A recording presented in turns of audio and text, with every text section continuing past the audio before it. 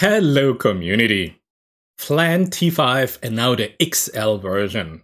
Because last time we ended with the large version, but now they have a new version and a new update and now we can run on a free Google Colab notebook the XL version. And this is my preferred large language model. Why? Because it's free. It is open source. We can optimize it. We can play with it. And you might say, what about GPT-4 and ChatGPT Professional? Beautiful. Everything will come out in 2023. And if you have deep financial pockets, go for it. Of course, it is fun. But for those who like open source and free, I will show you what happened since my last video, the latest update, and how you can run Flan T5 XL on a free notebook. So I would say, let's just jump right into it. The publication itself. It happened in December 2022 and Google said scaling instruction fine-tuned language models. And it was more or less about the new Flan PaLM 540 billion parameter model. By the way, they say, okay, we just released the Flan T5. And we are gonna focus here on the Flan T5, which we can run in some way on a Colab notebook, but for a PaLM 540 billion parameter, so half a trillion parameter model, you have to connect to Google Services Cloud. So here we go. First, what we do, yeah, we just say display and do some multiprocessing. I mean, just to give you an idea, we have a CPU with two cores, just to show you what we can run on a large language model if you compare this to some really professional models where you have a whole uh, TPU or GPU cluster running in the background. So we have two CPU cores. We should have a GPU runtime. Yes, beautiful. And how do we start? We start as we always start. We install our transformer from Hugging Face. Then we need something else. We need some accelerate, some bits and bytes, some sentence piece. We just do this also. And then we tell the system, hey, I hope I have my GPU up and ready. Beautiful. Now then comes the moment where you have to choose. Go, do we go with a full resolution floating point 32 or go with floating point 16? Now we are brave here and I told you we try here Flan T5 XL. So we go in our first attempt with the full floating point 32. So let's see what happens. Now, the model itself, of course, is a little bit bigger. You can see it's about close to 10 gigabytes here. If you remember, my uh, large model was about 3.3 gigabytes. So the jump from large to XL has a 300% increase in our size. So while this is loading, I would like to show you here, of course, if you go to Hugging Face, from of course from Google, Flan T5 XL, you have here the model card and they tell you everything, everything beautiful, beautiful, beautiful. And then, of course, they tell you here you have a hosted inference API. And here you can choose just a translation task. Translate German, my name is Arthur. Hello, yes, and then you have a question task. Please answer the following question, who is going to be the next whatever. You have some logical reasoning, where you have a question with a Q and a question mark and give the rationale before answering. So you ask the system to explain itself more or less. You can have some scientific, please answer the following question, what is the boiling point of nitrogen? So you see, you have a lot of things you can ask for. This is of course not in the complexity like a chat GPT, where you have this reinforcement learning from human feedback missing in this particular PPO. But hey, we are just looking for normal system that we can run here on a free Colab notebook or maybe on your laptop. So as you can see, we still have about four gigabytes to go. Yeah, what I wanted to show you is, no, we can do a first run here with translation. Yeah, translation is too, too simple question. Come on, logical reasoning. So you have a question. Can Geoffrey Hinton, our very first uh, artificial intelligence have a conversation with George Washington. Give the rationale behind your answering. And then you say compute, and you're running here on Hugging Face, I don't know, something beautiful. Ah, here. Intel Xeon. And it tells you George Washington died in 1799. Geoffrey Hinton was born in 1924. So you say, yeah, okay. So output, right, Where's the output? So nothing. Because this is here and with this free hosted system, they are limited to more or less exactly one line, which is gorgeous if you want to do this. So this is the reason why we decided to program it here on our free Colab notebook. And I will show you how we can put out all the stops and we can fine tune our system to an answer with 1000 words or whatever you like. So here we go. We are still downloading. Here we have our 10 gigabytes. Now another uh, 2 gigabytes. I should have maybe a look. System RAM looks good. GPU RAM flatlining. Beautiful. It will change within seconds, believe me. We will go absolutely on the ceiling with this system. So let's start with the first one. This was also in the publication here, just to show you here. There was uh, this question, hey, can Geoffrey Hinton have a conversation with Washington? Give the rationale behind the answering. We do now exactly this. We have here now my question, hey, can Geoffrey Everest Hinton have a conversation with George Washington? Give the rationale behind the answering. So this will be my text, but at first we have to wait for our T5 for conditional generation from our preloaded Flan T5 XL system to load. Wow, this was close. You see here the RAM, the system RAM already spiked. I think we have 12 gigabyte RAM. Where is it? What do we have? We have 12 gigabyte disk. Yeah. So here we go. And then we can have this question. And this is our task. And now we just feed it here in our tokenizer. We say beautiful. We run it on, of course, on our GPU. And then we have our, here our model defined, and then we generate our answer. And as you can see here, normally, whatever you see is here input. And now this are here my parameters that I played around. I integrated here and I showed you last time that the system is able that you can tune it in unbelievable ways. So at first I thought the minimum length should be 20, the maximum length 600 tokens, length penalty, the number of beam beam search. I want to have some n-gram search. I want to have some temperature reading, top K, top P. I showed you in my last video. I have a penalty for repetition and so on.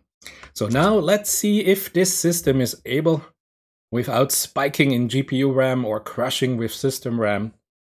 And here we are. So the answer is George Washington died in 1799. Geoffrey Everest Hinton was born in 1900. So the final answer is no.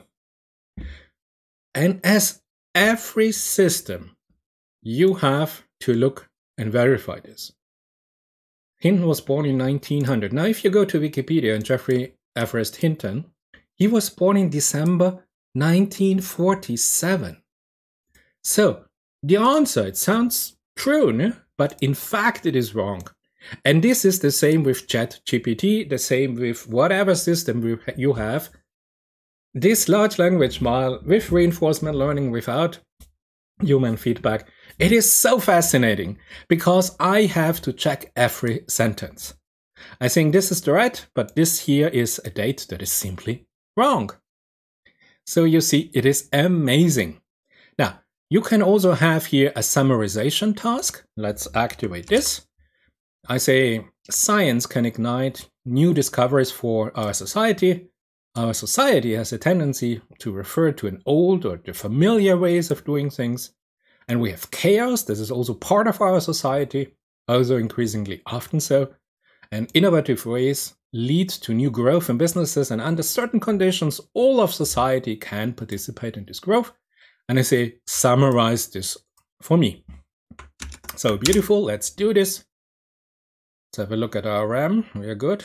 RAM is good. GPU RAM is good. Okay. And here we are.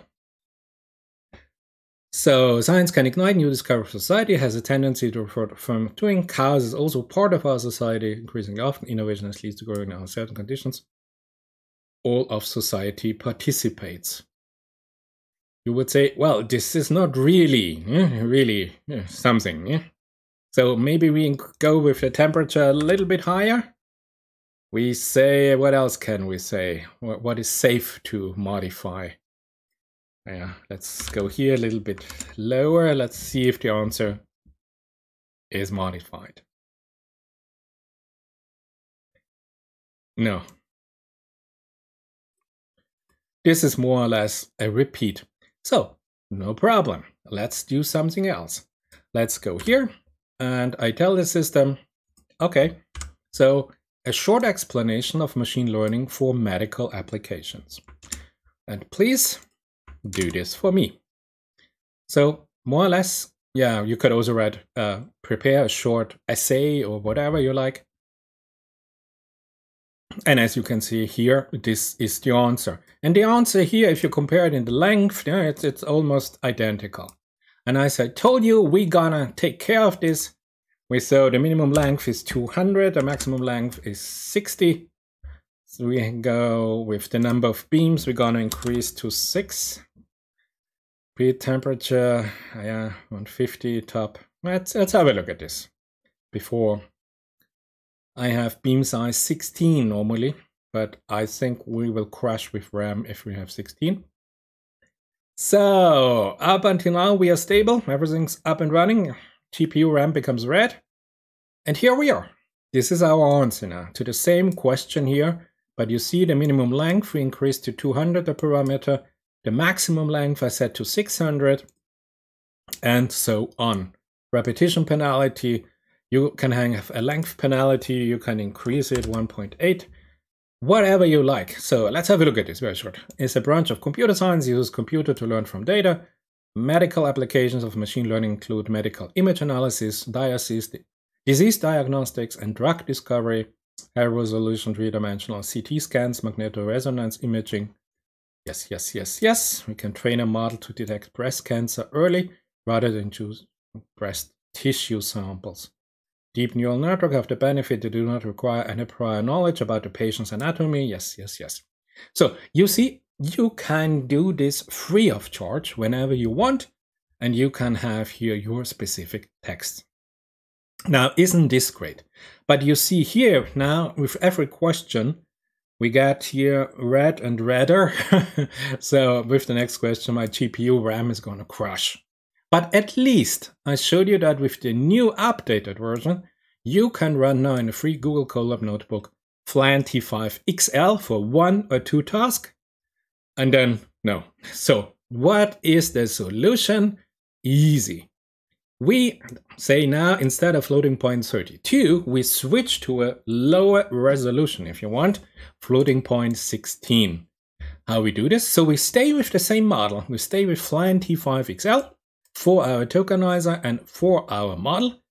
But as you can see here, we say device, device map auto. Of course, we only have one GPU, so yes, doesn't make any sense at all. But if you have a cluster, beautiful. And then our torch D-type is float 16. So beautiful. Since we are already here, GPU RAM absolute top is a disconnect. Thank you. And now we have the pleasure to do this again, start all over again. Yes, yes, yes. We load our transformers, we load our sentence piece, our accelerator, and this is it. So so now, as I show you here, we are now operating with half a precision of FP floating point 32. And we say again, our tokenizer and our T5 model. And I showed you here torch, beautiful, let's execute this.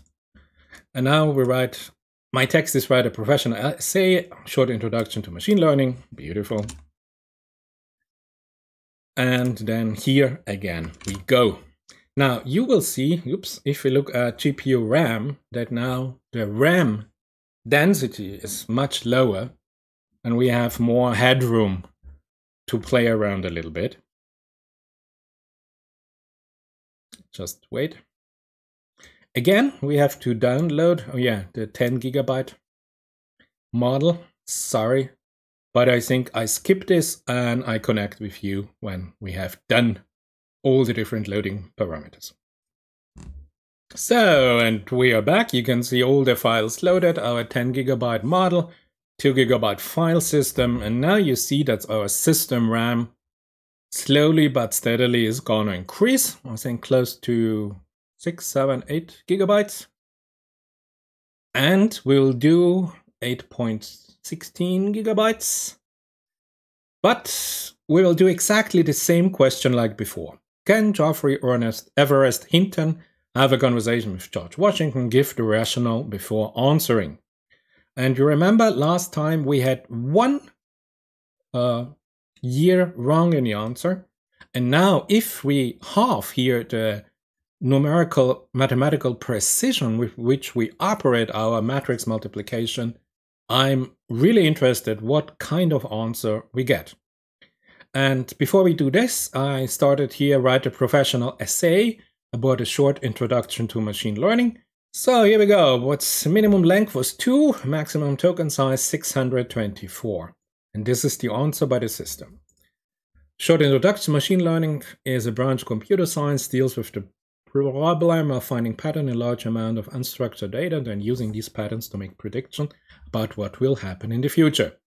Different types, such as neural network, deep learning, will look at neural network. Is an artificial network? Yes, yes, yes, okay. Doesn't get more common.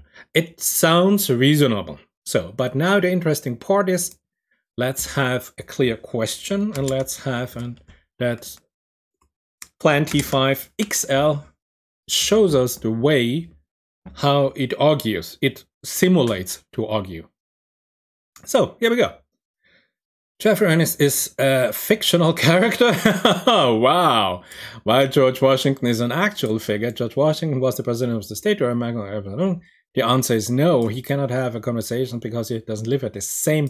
Now, he doesn't live at the same time, this is the correct angle, but that Hinton is a fictional character where were Geoffrey Everest Hinton here seems to me like a real person. So you see, you get amazing answers by large language models. And this is the fun. I mean, I spent double the time checking the answer of a chat GPT or of a Flan T5 than doing the programming and then asking the system. And I think any student who gets anything back, they have to check every single word. It is so amazing. So you see, whatever you get back, it is highly interested. I would say it's a very creative answer. Okay, you know FP16, FP32, XL, I say. Thank you for watching, thank you for listening. I hope you can use it for your own purpose. I hope you enjoyed this, and I see you in my next video.